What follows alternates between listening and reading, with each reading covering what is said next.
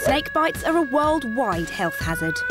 Over 5 million people are bitten each year, and if the venom penetrates the skin, toxins inside can damage tissue around the bite, cause internal bleeding, affect the nervous system, and directly damage the heart. The UK only has the adder to worry about. In fact, with alcohol causing a quarter of all emergency admissions, you're more likely to end up in hospital after drinking snake bite than suffering one.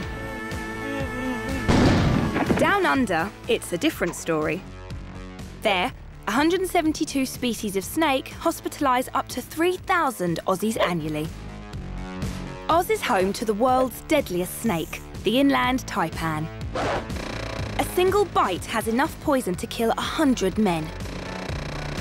But it's the brown snake, not to be confused with white snake, that's the most successful serpent serial killer, responsible for over half of Australia's snake-related fatalities. In 2008, a Cairns carpenter had a lucky escape when he made an impromptu toilet stop. His chosen spot to squat was directly above a deadly brown snake. The scared serpent lashed out at the approaching trouser snake,